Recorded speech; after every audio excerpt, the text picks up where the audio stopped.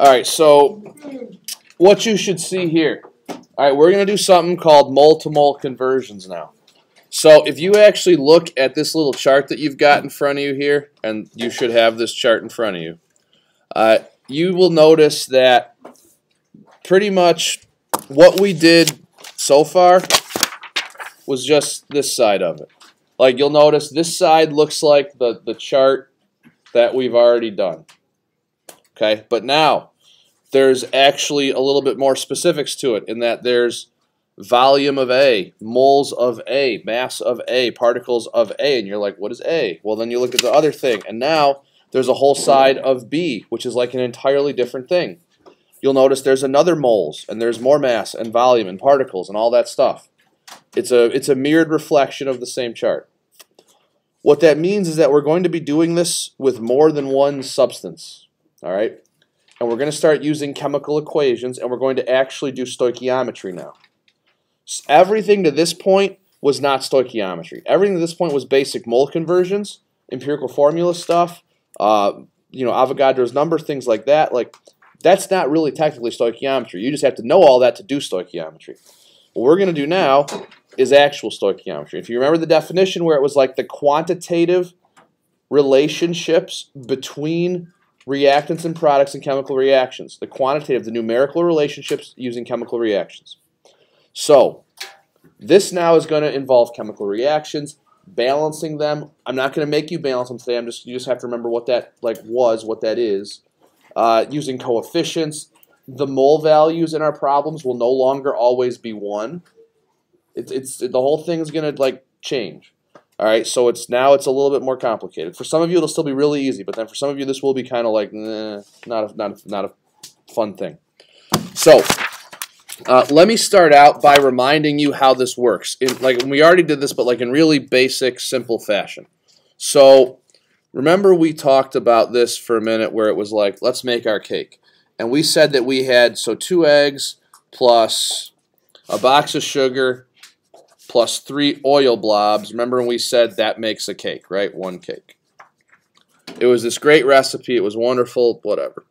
Uh, so we said our two eggs. So we got two eggs, sugar, one sugar, and then three oil. And we know that makes one cake. We're going to start doing this for real now, but with chemicals. So if I were to say, all right, you've got you've got seven eggs. You've got excess sugar. You've got excess oil. That means you've got more than enough of it. How many cakes am I going to get out of this? I mean, is it reasonably quick for you to just say, okay, well, I need two eggs for every cake. So I got two, four, six. I got six eggs there, seven, but, you know, whatever, that doesn't matter. So we can make three cakes with one egg left over. I mean, you, do you see that relationship?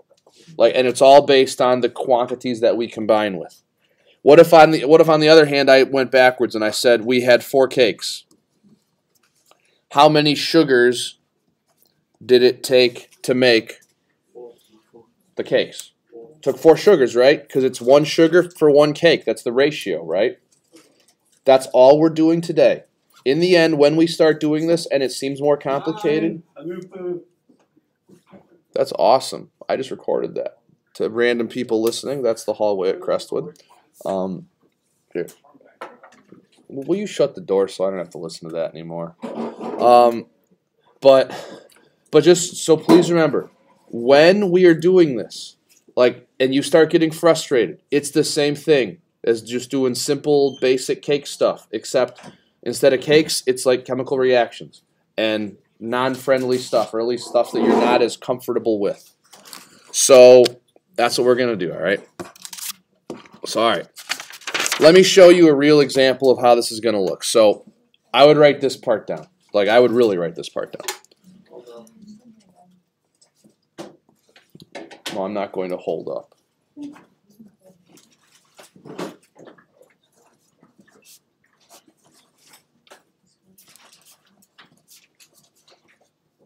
All right, so from now on, so this is an example, and if you want, so specifics, um, these examples that I'm going to do are going to cover just two pages. We're gonna skip a few, and I'll I'll give more specifics in a little bit. But this will be SP forty two, and I think forty seven. Yeah. So this will be for SP forty two and SP forty seven. We're kind of gonna mix them up a little bit, and you'll see. So initially, this is going to be called a mole to mole problem and I'll explain how that's going to work. But from now on, for every problem you're going to have, there's going to be a chemical reaction that goes along with it, all right? For every problem you're going to have, you're going to have a chemical reaction. Now, the wording will generally be more straightforward in that, like, it's right now, it's just going to be pretty clear and say, you know, if you have so many moles of this, how many moles of this will be produced or something like that. It'll be straightforward, but you'll have a reaction. You will also have coefficients. Now, I will simply put in the coefficient for you right now, like that's just given. In all the stuff in the packet, I don't think you have to balance. But there will be other things that I give you where you do have to balance the reactions. So we'll have to remember how to do that. And we'll review that, just not right now because this is more important. Now, it just as a reminder, if there's nothing in front of the other two things, what number is theoretically there? One. There's a 1, right? So let's really try to remember that because that's something we got to work on too. So, all right. Now remember, the coefficients, and this is sort of the thing. Remember, the coefficients represent a mole ratio. They tell us, okay, so for, for every one P4 here, how many O2s do I need? I need five. It's the same thing as our, as our egg thing. For every two eggs, we need one sugar. For every one P4, we need five O2s. That will produce one P4O10. That's our cake in this case. Same idea, just, you know, a little different. So the way the wording will be, it's like it can seem complicated. I want to make sure you never are bothered by the wording, so I'll start out really simple. So I mean, I'll just actually write out like a sentence for you here. So it'll say, uh, if you react, I will say 32.7 moles of oxygen gas with excess. We'll keep I would write this so you because there's a, there's a point to me showing you this question. There's some stuff in it that I want you to be aware of. Oh, it's still ringing. All right, let's see who it is. Yeah. UPS. UPS. Okay. Okay. That was my wife. Hence why I had to actually answer. Okay. So, all right, if you react 32.7 moles of oxygen gas with excess P4, which is really just solid phosphorus, uh, how much P4O10 will be produced? So, okay. Several things. These are the kind of questions you're going to see from now on. And to be clear, what this is going to be representing now. If you look at our little diagram, from now on, there's going to be multiple things. There's going to be an A and there's going to be a B in every problem.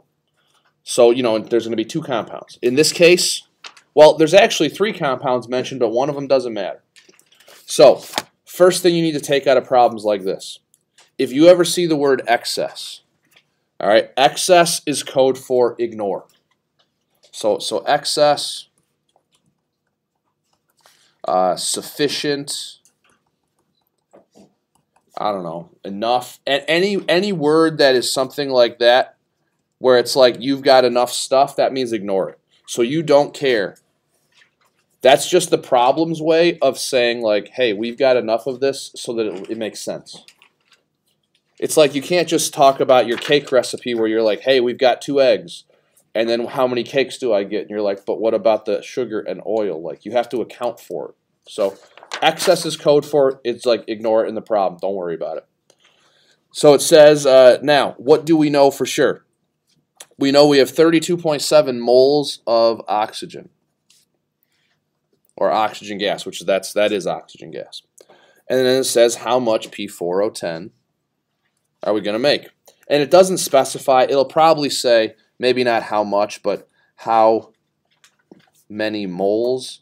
That's probably the more. Oh, open the door. somebody open the door. That's probably the more practical way it'll ask because they'll start getting into specifics about, you know, like whether it's moles, mass, grams, and we're going to have to cover all of that, which we will. So, okay, now the actual setup for this is pretty straightforward. In this case, all we're doing, we're starting at moles of A. In this case, our A will be the oxygen, what we're beginning with. Our B will be the uh, P4O10. So all you're going to do when you go between things like this, you're going to use what we call a conversion factor, which really, this is fancy code for you simply saying the mole ratio. I would note that in my actual like thing on my on my chart. And I would even make another note where I say it's the coefficients. So here, the coefficients from the chemical equation will be what we write, what we use to figure out the problem. Moles will no longer be 1, always. They will sometimes, but not always. Uh, and this is why, so you know how I've been like babbling on about how you have to label everything so specifically and why it's so important and why I like yell at you and like, hey, label. Like how you write your units. This is actually why. Because this is the ease, like you will get this confused. Pretty much all of you will if you don't label your stuff neatly and in an organized fashion. I'm just, I'm just saying. Done it for a long time. So, the way you're going to start with, and I'm being really dramatic and specific, and in the, in the end, it's a pretty simple problem, but like, just, just trust me. So you'll do 32.7 moles of oxygen. Just label it like that. Draw your little conversion chart.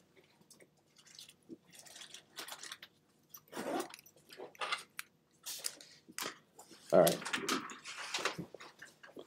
And then hopefully you will remember whatever you have there, you write down in the next spot. That should not be much of an issue. And then the goal. What are we trying to get here? Moles of P4O10. So we're going to put that up on top. Straightforward, very clear. And then all you'll do, you're now going to take the coefficients from whatever it is you have in the equation and write them for each compound. So what is the coefficient for P4O10? There's nothing there, right? So we can assume it's a 1, so we're going to write 1 there. It's pretty straightforward. And yeah, and again, we're taking this, just, this is going right there. I'm going to take a picture of it and put it on the website, so I want it to make sense, like where the numbers are coming from. And then for O2, what are we putting there? 5. All right, we're just going to take the 5. There's a 5 here. So we're going to take that 5, and we're going to put it right there. All right, so that's where they come from, the coefficients in the equation. No longer are the numbers always 1 for moles. It depends on the equation in this setup, in a mole-to-mole problem. Yes? So now forever, forever it's gonna be that coefficient, right? No, not, not for this. So this is like the middle step. Okay. Oh, it's a good question. So this is the middle step. Like that's when we're doing moles to moles. But if we're doing mass to moles, if we're doing you know volume, cubic decimeters, or particles to moles, then it's still going to be one because it'll be we'll be using more steps. I'll you'll see. So okay. So we do this, and then what would you do here to solve this? Thirty-two point seven divided by five, right? Somewhere I had a calculator. Six point five four. Where is it? It's in front of your thing. Oh, my back hurts. I'm like an old man today. Even though I wonder, am I like an old man to you people already? Like I don't feel like it, but I do look at me and think like You don't look whiskey right now. it's on the recording. Oh, yeah. So you'll do 32.7 divided by 5 gives you 6.54 uh, moles of P4O10. Make sure you label everything. There, that's not so bad. And that's your problem. That's the beginning. We got. I'm going to do about four more examples that change things and show you different ways and stuff. Well, that's the beginning. There's more. Yeah, I know. It's okay. Now, the next thing, the, the next thing that bothers people, you have to understand that the order of this doesn't matter. So, like the way this is presented, it looks like, okay, we're going from left to right, and we have to like go reactants to products. That doesn't matter. The the sides of stuff, like where they might be in the reaction, it doesn't make any difference. So if we were given an amount of P4O10 and asked to convert back, we could. And that's what I'm going to show you next because that really, really bugs people sometimes, and I want to make sure it doesn't bother you. So, all right, uh, let's do another equation. I'll try to do another short equation because nobody likes writing out long equations. Yeah, sure, okay. So let's do this equation. So we've got carbon disulfide plus O2 produces CO2. and- All right. So, example number two. This is another mole to mole problem. This is uh, for SP42. No, that was for 42 also, honestly. Every, the, the 47 is, that's where it'll get more complicated. So now, let's do this. Let's say, uh, so, if, uh, if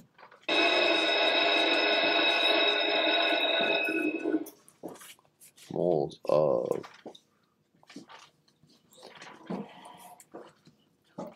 sulfur dioxide are produced are produced. So if 27.8 moles of sulfur dioxide are produced, um, are produced in a reaction, how many moles of oxygen were needed to react.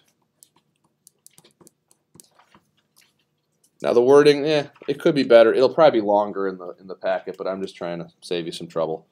So you'll notice in this case, there's four there's four compounds. And what I suggest you do for every single one of these problems is identify where stuff is, like what you need, what you don't need. So first, you do have to recognize what sulfur dioxide is. What is sulfur dioxide? It looks dark up on that TV. No. So sulfur dioxide is going to be, you know, SO2. So that's 27.8 moles. That's what we're starting with in this case. So we're starting in this case 27.8. And the goal then is to figure out like, okay, if we're starting with that, it says how many moles of oxygen are needed to react. So we're trying to figure out moles of O2.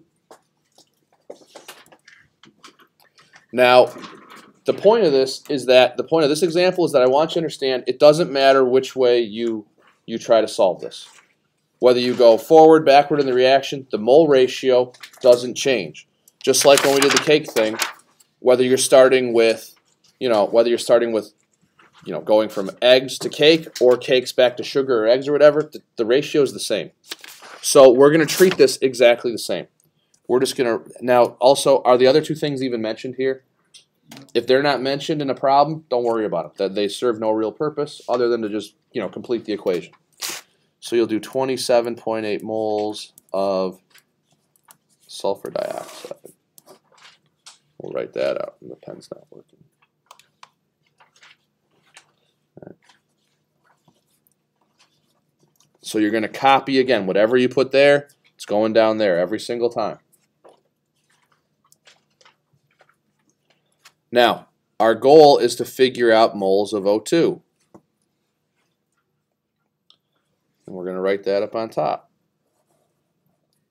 And then, you know, at this point again, just coefficients. So whatever you have in front of each thing, that's what you use. So what is in front of O2? A 3, so you're going to write 3.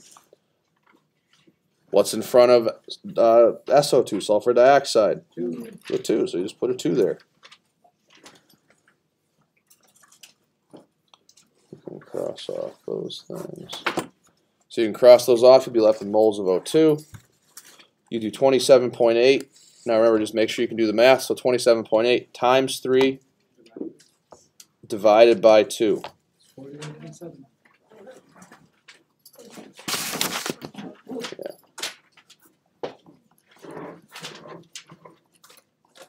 So it took us 41.7 moles of O2 to make that amount.